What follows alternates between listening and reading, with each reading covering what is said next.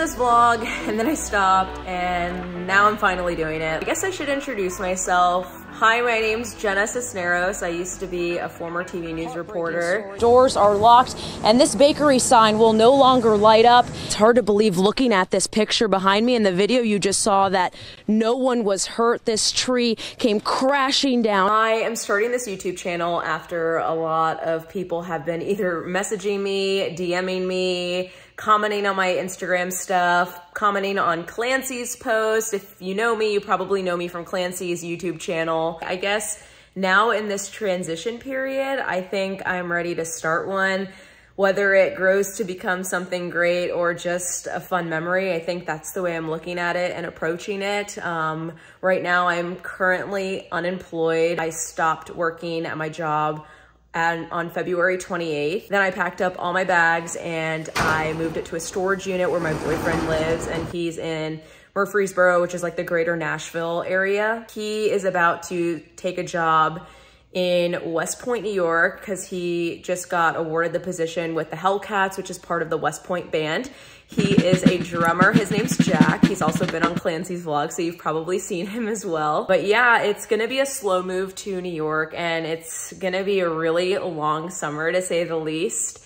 Um, I don't have everything figured out yet, and I think that's the hardest part for me because I am so type A. Like, usually I do plan every single step out, and for me, I just ended my job all on good terms and um, decided to leave the TV news industry. And I think that's gonna be a total separate video just because I have a lot more to say. And I just kind of wanted to make this introduction video kind of capturing the move and just what I've been up to since working at Local 12 and just, it's been crazy. I mean, I packed up my stuff, put it in storage in Nashville. Then the next day took a flight to South Florida because that's where I'm really from. My family all lives in the South Florida area.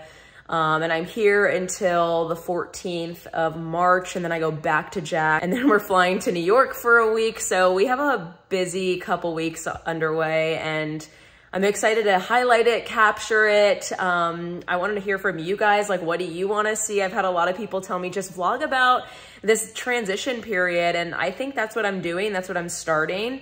So um, a little bit about me. Um, I started off as a TV news reporter in Columbia, South Carolina. I worked for the NBC station there. I was there for two years, took a job after that in January of 2020 at Local 12, which is in Cincinnati. And I started like two months before the pandemic hit. So it was crazy. Most of my time at Local 12, I reported on obviously the pandemic and then I filled in a lot on the morning show, but I did not work the morning show consistently. I typically worked a day side shift, which is like Monday through Friday, nine to six ish. And I was in like the four, five, six o'clock news. So a lot more harder news, I would say, than the fun, peppy morning news. So when I did get to fill in, it was fun because I got to show a lot more my personality. I felt like I grew a lot as a reporter because I was able to do things that were definitely out of my comfort zone. The world's largest bounce house in America, and it's right here in Cincinnati. Woo, this is going fast. I hope you can come out and check it out because it's a great time, not only for me, but as you can see, for all these kiddos. But Paul, I'll send it back to you in the studio. I worked at Local 12 for three years and then decided to get out of the industry. And now I'm looking at some jobs in PR, but I'm also trying to take some time off. Like I only applied to a couple jobs and I'm only I'm being really specific with jobs that I'm applying to. It has to be something that really interests me or, you know, excites me. And I have to be careful too because I don't necessarily want to move to New York ahead of Jack because he, since it's with the army and he's not in the army yet, he's only, he swore in, but he's not technically in the army yet he has to go through the nine weeks, four days of basic training. And ironic enough, he is getting sent to Fort Jackson, which is in Columbia, South Carolina, AKA my first TV news market. So he's gonna be at basic training literally 15 minutes from my first TV news job. And Columbia was such a fun, special time in my life. And I'm excited to go back and eat at some of my favorite restaurants, go to my favorite little boutiques, and um, obviously see Jack again, because that's gonna be a long nine weeks and four days of writing the letters and all that. So um, yeah, so it, it, we have a lot going on this summer and we're really pumped for it. More so, I think I'm just ready for our distance to end. We call it medium distance because he was in Nashville area, I was in Cincinnati, which is about a four, four and a half hour drive. But we always would hit traffic driving. We would see each, each other pretty much every weekend. I would always bring Oakley. This is my six pound Yorkie mix. She's being such a good girl right now, but she is not always that good. She is a crazy little gal and she sits in the car with me for four and a half hours and would drive to Jack's and yeah, we would spend the weekend together, but the weekends just go so quick and we are just so looking forward to have a Wednesday night together and doing nothing together because I think when you think about distance, far too often you are just trying to pack everything you can into a weekend and it is just exhausting. Like the drive alone is exhausting. I don't know about you guys, but I I am like the passenger princess. I do not want to drive far and obviously I would have to drive and we both made the equal effort to go see each other. For us, we sat at like a coffee shop. I'll never forget like when we first started dating and we set out every single date and we stuck to them. We started dating last April, so we're going on to almost a year now. Yeah, it's just been, it's been long. It feels really long. And I think it feels longer too, because I've actually known Jack since we were, well, I was 19. He's a little older than me. So he was probably like 20 ish. We've always remained friends, but we were never like texting each other, maybe like happy birthday. But one day randomly last year, he actually slid into my work Facebook DMs. He messaged me and was like, I see you doing the news thing. I see that check mark. It was just really cute. He just so happened to be in the Cincinnati area. He was going to Dayton and he was like, hey, I'm gonna be in the area, like, let's grab a drink. And I didn't think much of anything. I was just like, okay, let's grab a drink. I told my good friend Alexa, I was like, Alexa, he's either gonna be super cute or not. And there's gonna be nothing in between.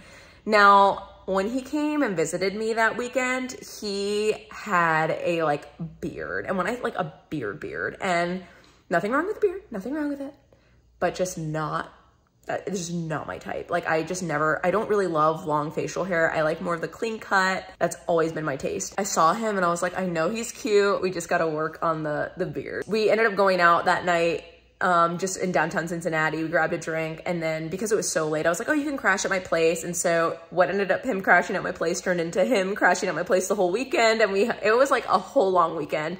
And then when he went home back to Murfreesboro on Monday or sun, it was Sunday and he FaceTimed me Monday or Tuesday. It was like really, really close after that weekend and he had shaved the beard. Yeah, we have not stopped talking ever since. And it was just special because again we've just known each other so long so it doesn't feel like we had just started dating i was already like comfortable with him it was just like reconnecting with an old friend and so yeah we hit it off and he is just so great and I'm, I'm i always say it i'm so grateful and so blessed to have him in my life and so you guys will be seeing a lot more of him it's going to be a really fun summer i'm excited to get some time with my family in florida and so I'm trying to capture all of that and, you know, just highlight what I do. And I hope this is of interest. I think I'll go through just um, the job process as well, like leaving a career and trying to start something new. Like while it's in the same kind of like communications field, like I'm trying to jump into either like school PR or public relations, communications, media relations, stuff like that. So I will vlog all about that and just what I've been doing to get ready for some interviews. Let me know what you guys want to see. I mean, I am making this because you guys are the ones convincing me. I mean, all these comments, I, I could only ignore them for so long, right? And so what better time to kind of dabble into the YouTube world um, than, than now. So if you've made it this far, thanks for watching. I really appreciate the support and I'll catch you next time. Bye.